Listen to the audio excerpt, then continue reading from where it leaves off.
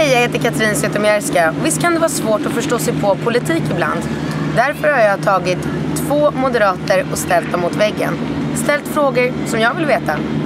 För att jag har ju anställt unga människor så jag vet vad du pratar om. Men en ung människa förstår inte vad du Nej, menar med, ar- med eh, arbetsgivaravgiften. Exakt. Förklara. Ja, det är så här. Jag, jag upptäckte det själv. Jag visste inte att det fanns förrän eh, jag startade egen firma och skulle börja med så här.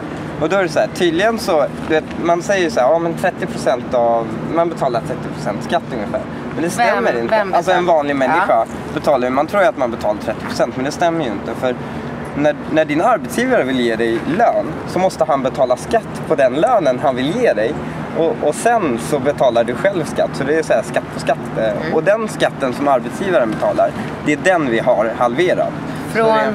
Från, eh, det ligger på ungefär, ska vi se, 25 någonting till eh, 16 eller nej, 30 någonting till 16. Det, är- den har halverats helt enkelt. Det är väldigt svårt att räkna exakt. eh. Och vilka åldrar, upp till vilken ålder gäller det här på ungdomar? Det är upp till 26 år.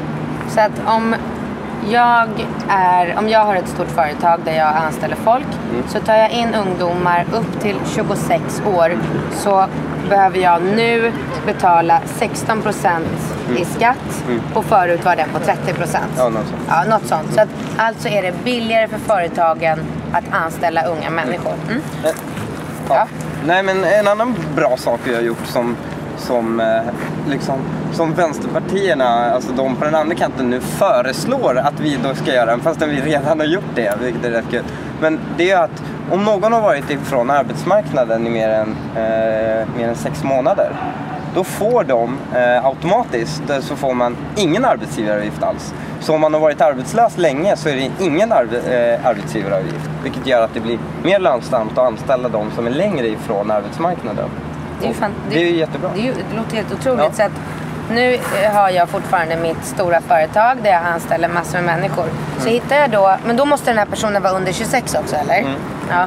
Så hittar jag då en ungdom, eller kommer en ung människa till mig som är under 26 år Mm. och som har varit arbetslös, alltså på pappret, Mm. i minst sex månader så betalar jag ingen arbetsgivaravgift överhuvudtaget.